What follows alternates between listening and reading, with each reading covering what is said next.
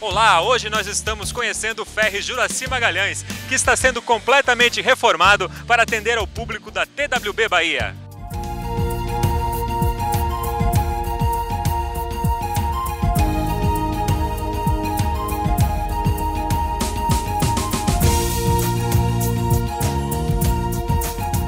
Utilizando modernas técnicas de construção naval, a TWB está reformando todo o ferry Juraci Magalhães, construindo novos convéses para poder acomodar mais passageiros e dar conforto a mais pessoas. É a TWB Bahia melhorando para trazer conforto e segurança para você, passageiro.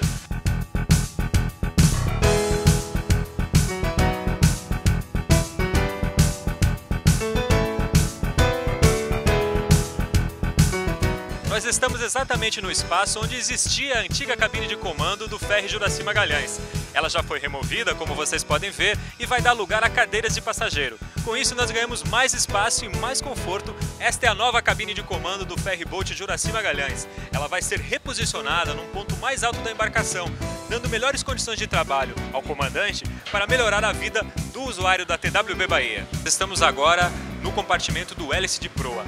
Este compartimento é um dos primeiros do ferryboat Juraci Magalhães a entrar em fase final de reforma. Nós já estamos ultimando os últimos detalhes para a entrega deste compartimento aqui da embarcação.